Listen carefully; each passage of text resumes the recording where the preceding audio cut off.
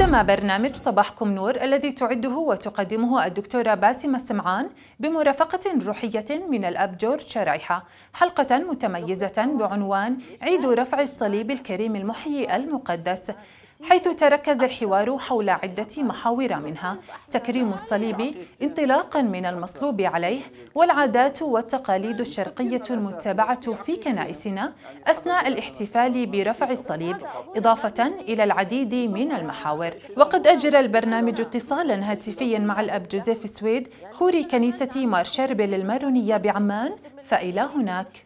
هلا ابونا حلقتنا عن عيد الصليب المكرم وقصة الصليب يعني معروفة وعدة مرات ذكرناها إنه كيف صارت ولماذا شعلت النار وموضوع الصليب كيف وجد ومن أوجده ف يعني تاريخيا أبونا إذا بتقدر تحكي تاريخ هلأ بالعودة إلى الكتاب المقدس بالعهد نعم. القديم نعم. فكرة الصليب كعقوبة كانت نعم. قائمة وردت 46 مرة فعل يخص آه، قيام إنه العقوبة كانت من خلال الصليب وأفعال 46 مرة. وبالعهد الجديد 28 مرة وردت نعم. كلمة آه، الصليب. آه، العيد اللي بنعيد له ب 14 وب 27 حسب التقويم الكنسي هو مش عيد الصليب بشكل مباشر هو عيد رفع الصليب بمعنى شو عيد رفع الصليب؟ بمعنى الخشبة أو إحنا بنسميها الذخيرة اللي نعم. أخذت منها. هي آه، اليهود كبوها في محل في في مكان للنفايات آه، ابعدوها عشان ما تصير يتعبدوا لها المسيحية أو أو كذا. فبقيت كذلك لغاية آه، لما صارت الحرب بين الفرس والرومان البيزنطيين اجى هرقل والحرب اللي صارت بينه وبين الفرس وانتصر فيها. فطلب إنه بهذا الحكي ب 628 يعني هذا تواريخ يعني. وأعاد الخشبة من آه، الفرس كانوا ماخذينها. نعم. أعادها وداها وين على مدينته العظيمة عاصمة البلاد القسطنطينية اللي هي نعم. اليوم ما يعرف بمدن تركيا. يعني بعتبر إنه إثارة هاي الفتن والنعرات وال وال وال والعنصرية هذه هذه حجار عثرة بتكون أمام الجماعة المؤمنة. وويل لمن كان حجر عثرة. فما تكونوا حجار عثرة للآخرين ما تكونوا بكلامكم. هذا لأن في ناس كتير بتصدق وفي ناس كتير بتاخذ بعين الاعتبار هذا الشيء في ناس كتير بتقول لك مثل جروب الواتساب تاع الاصدقاء نورسات كتير في ناس بتضلها تحكي وتعلق والكلمة هاي والكلمة هاي وبتمسكي بهاي الكلمة وبتمسكي بهاي الكلمة. جماعة المؤمنة الموجودة على الجروب بتقول لك أنا مش فاضي لهالوجع الراس هذا شو بتعمل؟ بتنسحب وبتطلع من الجروب. وهيك عم بيصير في كنايسنا. نتيجة خوري معين حكى شغلة أو في كلمة معينة حكتها بتلاقي المؤمن بطل يصلي ابتعد عن الكنيسة. ابتعد زي ما بطلع من الجروب بطلع من الكنيسة. لأنه فلان وعلتان. أنت لما بتروح بتصلي مش من أجل فلان وعلتان من أجل السيد المسيح من أجل الصليب المكرم اللي إحنا بنآمن فيه من أجل المسيح المعبود اللي على هالصليب من أجل الرب يسوع المسيح اللي إحنا بنآمن فيه اللي هو مدعو إحنا مدعوين كلنا للخلاص. فإحنا رايحين على الصلاة من أجل هدول. مزبوط في أشخاص هن موجودين حاملين هاي المسؤولية. طيب يوصلوا لنا هذا الإيمان. بغض النظر إنه يعني بضلهم بشر ومش كاملين وما حدا كامل غير الله.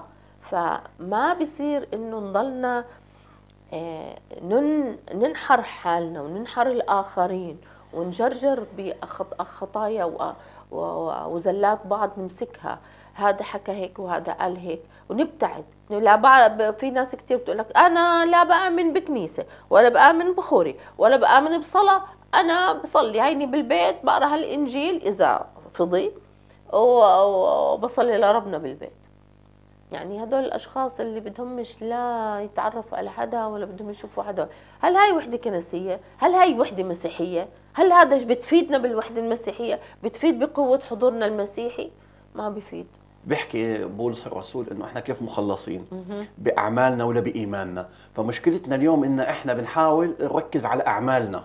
اللي بتمجد فيها الرب يسوع المسيح اللي بتمجد فيها كنيستي اللي أنتمي لها الكنيسة الرومي الكاثوليك أو الكنيسة الأرثوذكسية أو الكنيسة البروتستانتيه الانجليكانيه كل واحد قاعد بيعظم الأعمال.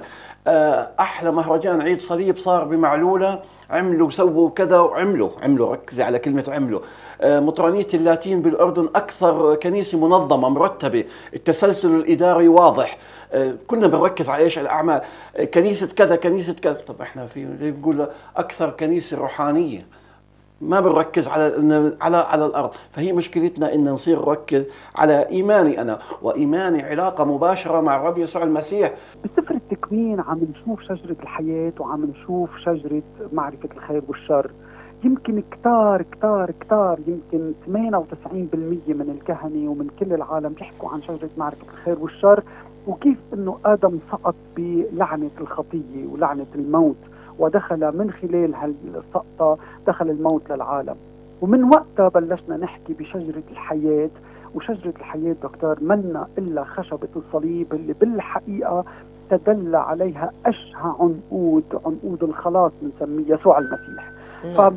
فلو أنه حقيقة آه، آدم وحواء أو الإنسان الأول رفع عيونه واطلع نعم. بشجرة الحياة اللي هي مكتوبة بأول سفر التكوين الفصل الأول وبآخر سفر الرؤيا بآخر فصل من سفر الرؤيا شجرة الحياة كنا فهمنا قضية كتير كبيرة بالحقيقة وكنا فهمنا أنه القضية كانت مربوطة على شجرة الحياة وأنه الله بده نقطف وننعم من شجرة الحياة ثمرة الحياة. نعم. واليوم جاي لأقول عن الصليب أنه أجمل لوحة هي لوحة يسوع المسيح على الصليب اللي بيقول قبل موته بشوي وأنا عندما أرتفع أجتذب إلي كل أحد وأنتم بتعرفوا كثير منيح وأبونا جورج بيأكد على هالشيء إنه وقت اللي كانت بالصحراء قضية الحرية وقضية الكرامة وقضية الهوية عم تاخذ مطرحها بصحراء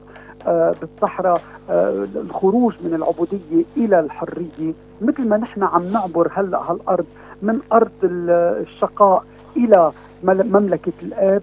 في عنا نعم قصة الحية النحاسية اللي رفعها موسى نعم. وقال لهم الرب طلعوا فيها. علوا عيونكم بقى. وهيدي الأفعى اللي جاي تعقصنا بكحلنا. بدنا نكسر شوكتها وبدنا نسحق لراسها. بلشت القضية كمان مع سفر العبور إذا بدي سميه سفر الخروج. وهون بنشوف دكتور بنشوف أبونا جورج صحيح. قديش قصة الصليب هي قصة حياة. قديش بنشوف إنه قصة خلاص قصة إنك نعم تنتزع هالسم والسموم. من العالم وبعرف قديش في سموم بعيالنا بعلاقاتنا الاجتماعية بالدول بطريقة تفاعل الدول مع بعضها بمفاهيم اللي هي مسممة. اليوم طبخات مسممة الفساد التلوث إلى ما هنالك. فأنا بقول القضية كلها قضية صليب قضية كلها قضية شجرة حياة وقضية قصة بمين بدنا نطلع.